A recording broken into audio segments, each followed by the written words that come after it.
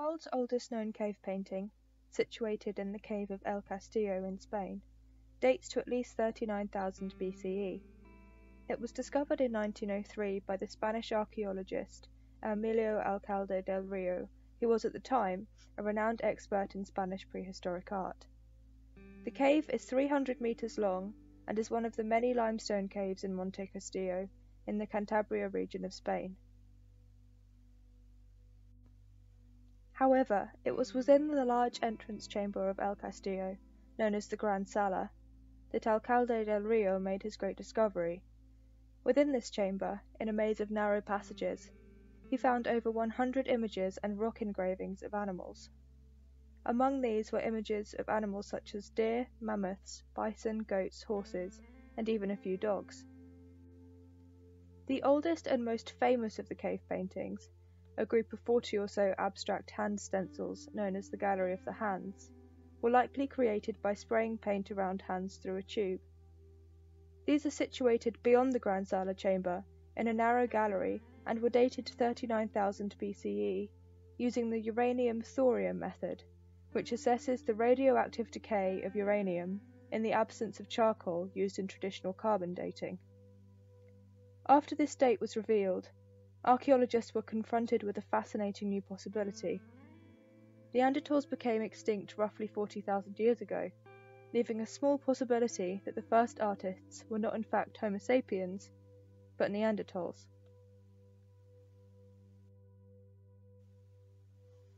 When we think of cave paintings, it is probably images of prey animals and stick men with spears that we envision. But as mentioned earlier, this isn't the only feature of cave painting nor is all cave art paint-based. Some cave art also depicts more abstract and solely pattern-based images. In this case, it is likely that the process of making itself is as important as the resulting image. Most cave art has been found in the dark depths away from the gaze of the human eye, and so it's unlikely that art was made for purely decorative purposes.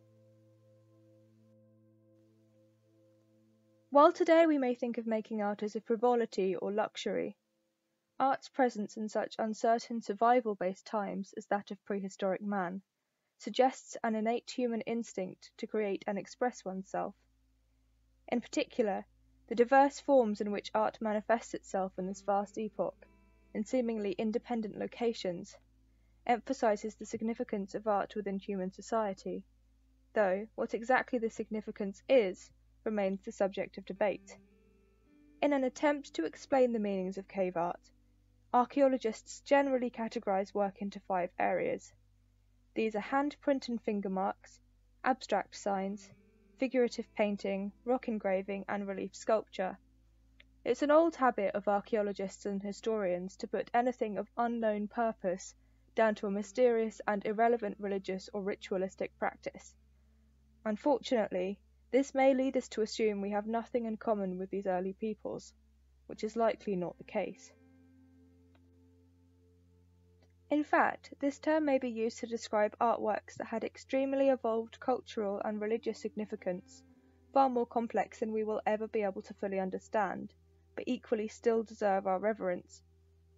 Most of us probably remember dipping our hands in paint and printing our handprints on paper at some point during our early childhood and this act is evidence of an awareness of identity and the need to express it that, to the best of our knowledge so far, seems to set us apart from every other species on the planet. We are the art making animal. Animals depicted in cave art are probably largely painted from memory due to their location in the cave away from their subject matter. This is also evident in the stylization of the forms. There is little attention paid to scale or perspective, and almost all animals are depicted in profile from their most easily recognizable form. In short, they are symbols, and contrary to popular belief, the most popular animals to be depicted were not the most popular of prey animals such as bison or deer, but in fact horses. Humans depicted in cave art are usually non naturalistic, very incomplete representations of the human body, taking the form of stick figures. Isolated body parts of people are much more common, such as heads, hands, and genitals; perhaps these symbolise defining features of what it meant to be human. Most cave art was made in red and black pigments. The reds consisted of iron oxides, such as hematite and ochre, and the blacks were magnesium dioxide and charcoal, which may have been ground down and mixed into pastes. Much like painters today will use mediums to alter the properties of their paints, archaeologists have found evidence of binders such as plant oil and animal fat to assist with adhering to rock surfaces. In most cases, it appears that paintings would have been created in three steps. First, an outline was drawn in charcoal. Next, the outline would be filled in with color pigment. And lastly, the edges would be blended out in darker pigment, perhaps to partially obscure the outline and to add an air of three-dimensionality. Cave paintings inspired many modern artists, most notably Pablo Picasso, who created a series of prints after the Altamira bull, a famous painting found near the town of Santillana del Mar in Cantabria, Spain. The painting was discovered in 1879 and dates back to around 17,000 BCE. Picasso was fascinated with the simplicity of form of primitive artworks such as tribal masks and Paleolithic cave paintings.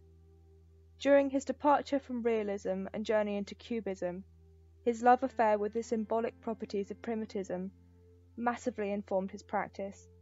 His prints of the Altamira bull perfectly encapsulate this progression from a more detailed approach to pared down minimalism, and the bull became a recurring motif in his later work.